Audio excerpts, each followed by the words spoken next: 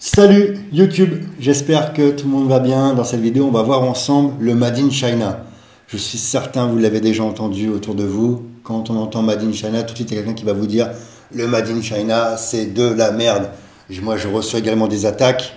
Tu travailles avec la Chine, tu es un capitaliste, tu es euh, un vendu, etc. Bref, j'entends beaucoup, beaucoup de choses. Je vais vous expliquer mon point de vue sur le Made in China, sur le fait aussi de faire du business avec la Chine. En attendant, abonne-toi aussi à mon compte Instagram, fabien.dessin, et n'hésite pas aussi à t'abonner à la chaîne. C'est une chaîne axée sur la motivation, mindset, business. Je te traite tout ça en vidéo, mais avant tout, générique.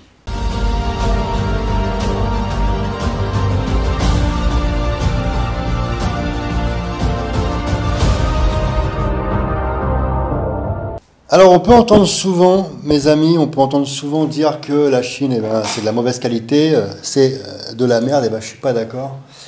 Euh, avec la pandémie du Covid-19, on a bien vu qu'il y avait une grande perturbation de la chaîne d'approvisionnement mondiale, en grande partie à cause des fermetures prolongées des, des nombreuses usines chinoises. Et puis on a aussi entendu qu'il fallait remettre à fabriquer en France. Et puis il y a ceux, qui pensent que la Chine est restée figée dans les années 60. Alors nous pouvons les entendre dire, comme je vous ai dit, hein, le Made in China, c'est de mauvaise qualité, c'est de la merde, ou qu'il ne faut pas consommer chinois, mais bon, ceux-là n'ont pas compris les règles du business international. On ne va pas rentrer en détail là-dessus, ça va être très technique. La Chine reste l'un des fabricants les plus importants au monde, pour ne pas dire le fabricant le plus important au monde. Elle offre bien au contraire à ce que beaucoup pensent une fabrication de haute qualité et les grandes marques que vous connaissez tous produisent là-bas. Les événements récents ont justement illustré l'importance de ne pas être dépendant d'un pays. Mais la Chine restera probablement une force dominante dans la fabrication mondiale. Même si la main-d'œuvre a tendance à augmenter, bien entendu, le pays se développe, la Chine reste l'usine du monde. Je vais vous lister des produits à présent. Je vous parle régulièrement, vous l'avez vu dans les vidéos, des équipements de fitness professionnels et particuliers. Eh bien, 2020, vous le savez, ça a changé la façon dont les gens s'entraînent. Et la Chine est le plus grand fabricant des équipements de musculation. Matrix, Technogym, Panata pour le matos professionnel, mais aussi Domios de chez Decathlon pour citer les gammes euh, particulières. Vous avez bien vu que tout le monde fait des gyms à la maison, donc voilà, c'est encore la Chine qui profite de ce business. Je vous ai parlé aussi, bien entendu, des vêtements et accessoires, parce que l'on sait que l'Asie du Sud-Est fournit une grande partie des vêtements et accessoires de mode dans le monde entier. Et puis la Chine, voilà, n'est pas différente de ce business. En 2018, selon Statista, la Chine représentait près de 40% du marché textile mondial. Bien qu'il existe d'autres pays qui produisent également des textiles, la Chine reste une option attrayante grâce à la disponibilité des matériaux et au faible coût de la main-d'œuvre, même s'il y a beaucoup moins cher en main-d'œuvre ailleurs, la main-d'œuvre est qualifiée et professionnelle. Vos ordinateurs, vos ordinateurs, la Chine fabrique la grande majorité des ordinateurs personnels, les PC, mais elle fabrique aussi pour euh, d'autres marques comme euh, Macintosh, Apple. Euh, d'ailleurs, vous savez qu'Apple produit ses, Macs euh, en Chine, mais pas que, il y a aussi les téléphones mobiles. Nous avons tous aujourd'hui un smartphone. Vos parents, vos enfants, vous. Et aujourd'hui, la Chine, elle a des smartphones, mais elle produit aussi, elle fabrique les smartphones. En Chine, euh, euh, en 2017, je ne sais pas de bêtises, en 2017, elle a vendu près de 220 milliards de dollars de téléphones portables.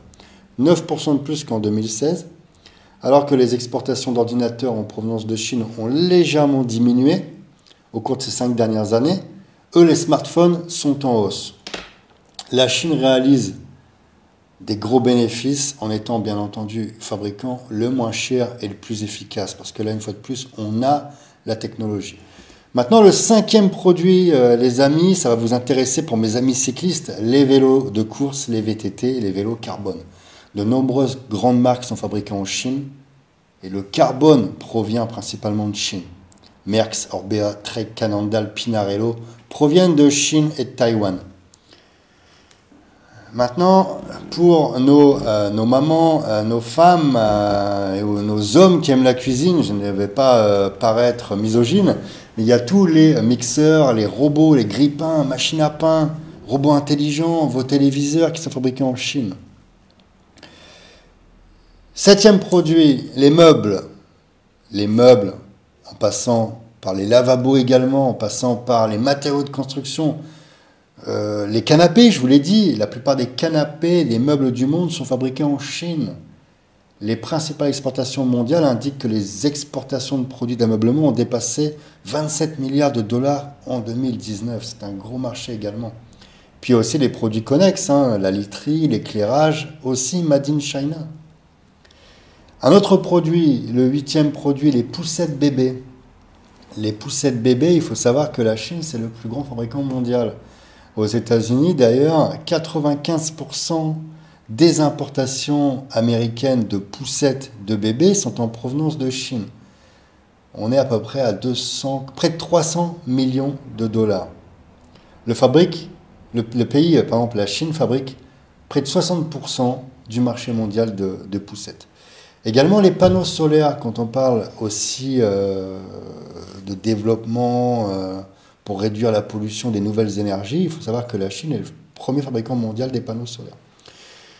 Dixième produit, on va arriver en été, on va avoir besoin de climatiseurs. Et bien la Chine fabrique 109 milliards de climatiseurs par an, soit environ 80% du marché mondial. 80% des climatiseurs dans le monde sont produits en Chine. Et ce sont des produits, une fois de plus, qui sont très fiables. Maintenant, l'artisanat, le onzième produit, dans chaque pays, vous avez automatiquement, lorsque vous allez en voyage, les souvenirs. Que vous allez euh, euh, acheter votre petite tour Eiffel à Paris, que vous alliez euh, au Maroc, que vous allez en Turquie, que vous allez en Espagne, etc. Vous allez à Athènes, ramener le petit Acropole, c'est fabriqué en Chine, quoi. Les chaussures aussi. Il y a une raison pour laquelle Nike, Adidas et d'autres grandes marques, des grandes sociétés, euh, s'installent pour fabriquer leurs baskets en Chine, parce que voilà, il y a aussi une qualité de la main-d'œuvre. Vous voyez, quand vous prenez une chaussure Nike, la qualité est parfaite et c'est du Made in China. Le coronavirus nous a dévoilé également que la Chine, c'est la boîte à pharmacie du monde. 90% de la pénicilline, cet actif qui permet voilà, de fabriquer les antibiotiques, c'est fabriqué en Chine. C'est le cas pour toutes les molécules les plus courantes de l'industrie pharmaceutique. Plus de la moitié de l'aspirine est fabriquée en Chine. On n'en produit plus en France. Même les marques de les labos français fabriquent en Chine. La dernière usine européenne, elle était située en Isère. Elle a fermé en 2008. Depuis 2008, l'ibuprofène également, un antalgique qui est commercialisé sous différentes marques comme Advil, Nurofen, la moitié est fabriquée dans l'empire du milieu. Les laboratoires achètent en Chine une grande partie de leurs composants en vrac, des vaccins, des anticancéreux, des génériques aussi. Toute votre trousse à pharmacie est made in China, quoi. Un produit qui est tout à fait différent maintenant, le quatorzième produit, mais vos décorations de Noël ainsi que vos jouets. Ce n'est qu'une infime partie, mais aujourd'hui, tout ce que je viens de vous citer, c'est fabriqué en Chine. La Chine, c'est vraiment l'usine du monde.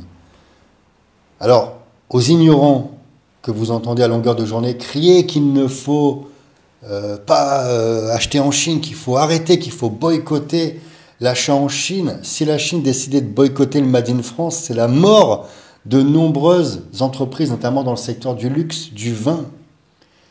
Pour faire simple, en ce moment, votre téléphone, votre tablette, votre ordinateur, votre Mac, votre télé sur laquelle vous regardez les vidéos, bah, tout ça c'est produit en Chine. Peut-être aussi même votre paire de baskets, votre t-shirt, vos lunettes, vos caméras, votre appareil photo. Euh, le matériel avec lequel je fais cette vidéo aujourd'hui, c'est fabriqué en Chine. Le fauteuil avec lequel je suis est made in China. Mon bureau est fabriqué en Chine. Mon téléphone, bref, tout ce que je viens de vous citer. Donc, euh, on a pris conscience, bien entendu, avec le Covid, qu'on était dépendant de la Chine. C'est pas bon d'être dépendant, on l'a vu. Euh, maintenant, refaire fabriquer en France, c'est pas pour tout de suite. Je n'y crois pas, je n'y crois plus. Il y aura d'autres pays certainement, parce que vous l'avez compris, lorsque la main-d'œuvre n'est plus aussi intéressante dans certains secteurs d'activité en Chine, la Chine délocalise. Donc elle suit. On va aller vers le Vietnam, le Cambodge, etc. Le business tourne dans le monde. Tourne dans le monde. Aujourd'hui, c'est l'Asie. Peut-être que dans 40 ans, ce sera le continent africain. Peut-être que dans 80 ou 100 ans, ce sera le retour de l'Europe. Parce que les pays de l'Asie seront tellement développés que l'Europe sera un pays beaucoup plus pauvre. Et puis ce sera l'Asie qui fabriquera nos ateliers du monde seront en Europe. Qui le sait? Ça, c'est des estimations. Voilà, je vous dis ça, je ne peux pas le savoir, mais on peut imaginer plein de choses. Le business tourne. Si vous regardez depuis des, des siècles et des siècles, il y a toujours eu des régions qui sont développées et ça a tourné. Quoi. Donc ça tournera encore. Donc voilà, j'espère que cette vidéo vous aura plu. N'hésitez pas à vous abonner, liker, partager. Dites-moi en commentaire ce que vous pensez du Made in China, ça m'intéresse. Est-ce que pour toi, le Made in China, c'est de la merde? Ou est-ce que le Made in China, voilà, il y a du bon, il y a de la qualité? Je fais une petite parenthèse avant de fermer cette vidéo, mais si tu as eu du produit, du produit Made in China de merde, c'est la faute de l'importateur. Parce qu'en Chine, tu peux avoir, c'est l'usine du monde, elle fabrique pour des pays à moindre salaire, à moindre coût, où la vie est beaucoup plus faible, où ils n'ont pas la capacité d'acheter des produits avec nos normes, avec notre qualité, de notre standing. Et la Chine produit pour ces pays, bien entendu. Mais elle fabrique aussi pour les grandes marques que je viens de te citer. Donc si l'importateur décide d'importer du produit vraiment cheap, où il cherche justement à acheter que du prix, et qu'après ce produit, lorsque tu l'achètes, c'est un produit de merde, ça on peut, on peut, on peut le dire, c'est la faute de l'importateur. Il aurait pu acheter quelque chose de meilleure qualité. Donc ne généralisons pas. Quoi. La Chine peut faire des produits de très très bonne qualité. Voilà, j'espère que cette vidéo t'aura intéressé. Je te dis à bientôt dans une nouvelle vidéo. Allez, avec Fabien, t'as réussi. Tu la mérites. Ciao.